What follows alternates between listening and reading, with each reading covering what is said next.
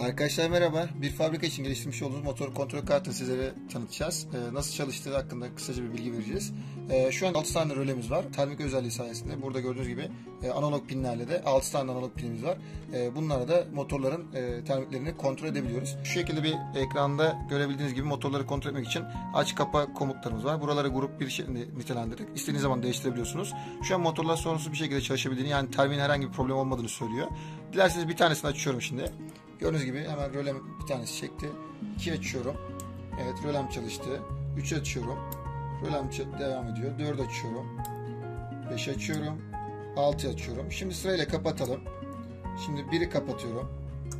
2'yi kapatıyorum. 3'ü kapatıyorum. 4'ü kapatıyorum. 5 ve 6'yı kapatıyorum. Şimdi 1'i açıkken şu şekilde açtım. Şu an kısa devre yapacağız. Evet gördüğünüz gibi hemen kısa devre moduna düştü ve şu an ekranımızda 3 saniye sonra termik atık diye bir uyarı verdi ve motorumuzu devre dışı bıraktı.